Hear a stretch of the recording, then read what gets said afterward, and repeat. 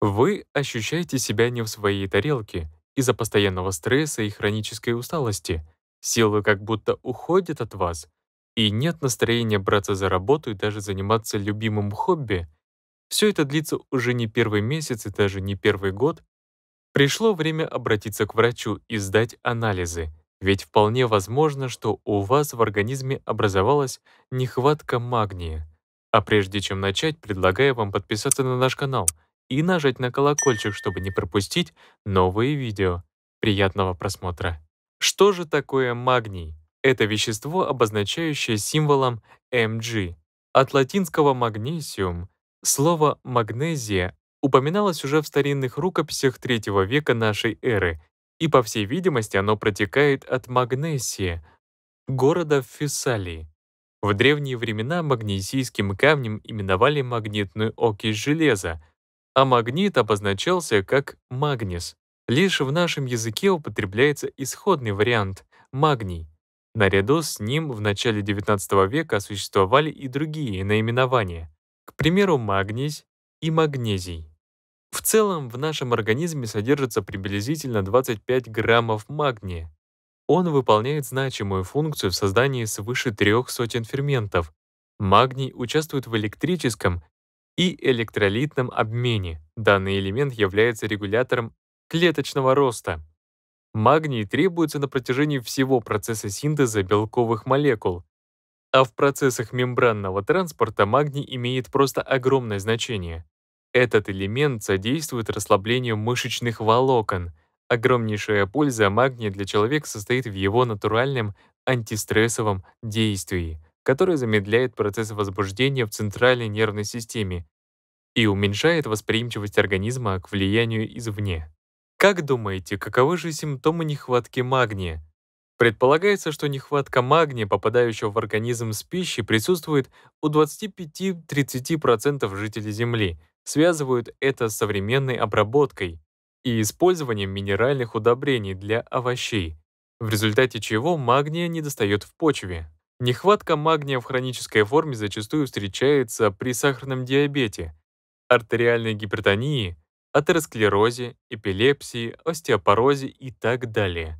Повышается потребность магния в периоды беременности, грудного вскармливания, полового созревания, пожилого и старческого возраста, больших физических нагрузок, эмоционального напряжения, частого и продолжительного нахождения в бане, нехватки сна, воздушных перелетов и пересечений часовых поясов, приводит к дефициту магния употребления кофеина, алкоголь содержащих и наркотических веществ и ряда лекарств, в частности с мочегонным эффектом, способствующих выходу магния с уриной.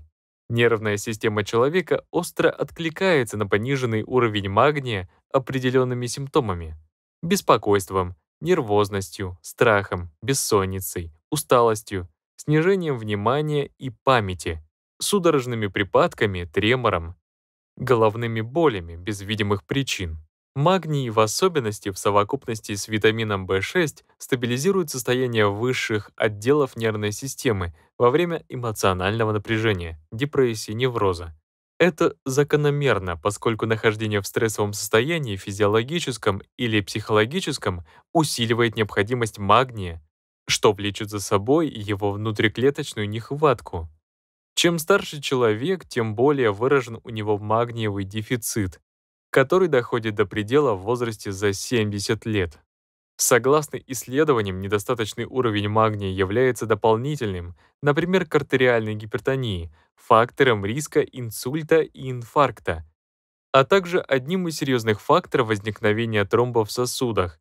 Прием магний содержащих препаратов помогает сократить риск появления тромба.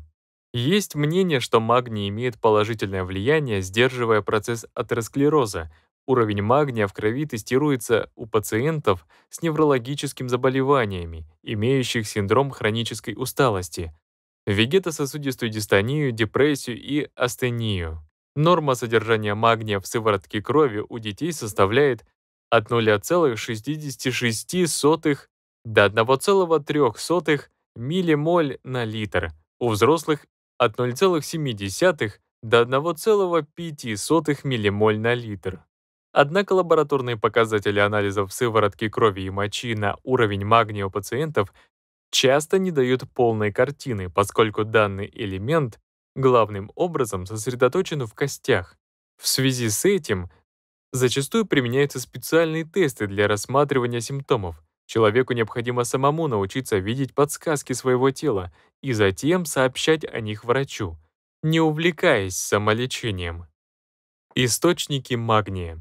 Для здорового человека норма потребления магния в день составляет 350-800 мг. При магниевой недостаточности требуется дополнительный прием элемента из расчета от 10 до 30 мг на 1 кг массы тела ежедневно. Помимо коррекционной диеты используют и медицинские препараты. Тканевые депо насыщаются магнием за 2 месяца и более. Коррекционные препараты, которые предпочтительны, это неорганические и органические соли магния. Регулярный здоровый рацион питания способствует поддержанию нормального уровня элемента. Следует употреблять больше орехов, минеральной воды, свежих овощей и съедобных водорослей. Ограничить себя следует в потреблении газировки, алкоголя, фастфуда и выпечки.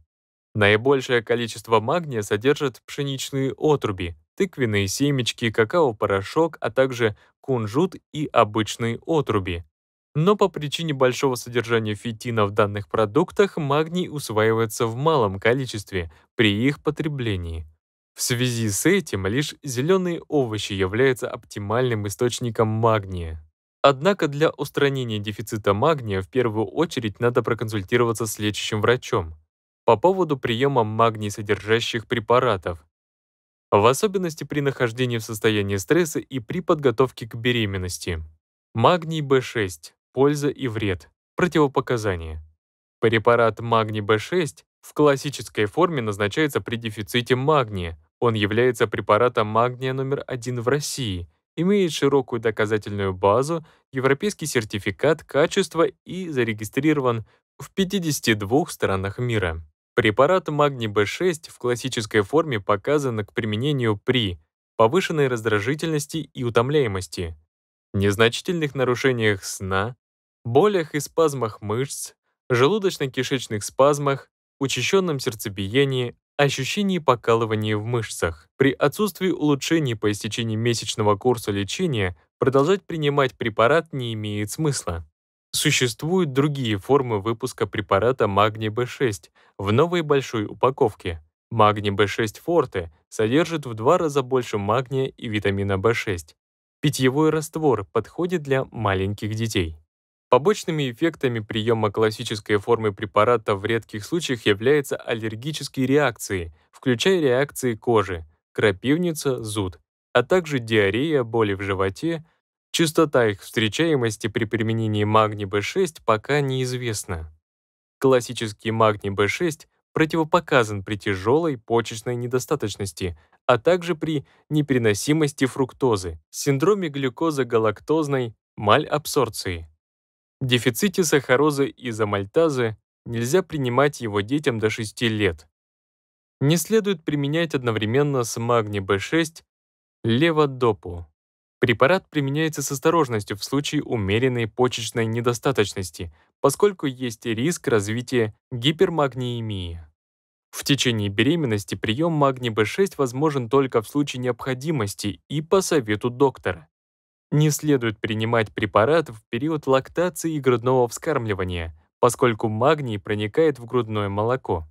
Симптомами передозировки, проявление которых зависит от скопления магния в крови, являются снижение артериального давления, тошнота, рвота, угнетение центральной нервной системы, снижение рефлексов, изменения на электрокардиограмме, угнетение дыхания, кома, остановка сердца и паралич дыхания, анурический синдром. При передозировке препаратом в случае почечной недостаточности может развиться отравление магнием. Что хочется сказать в заключении? Магний требуется нам для защиты от стресса, для поддержания баланса в нервной системе и для нормального протекания беременности у женщин. При его дефиците наблюдаются перечисленные в статье проблемы с самочувствием, решение которых лучше не откладывать, а обратиться к доктору, чтобы не усугубить свое состояние.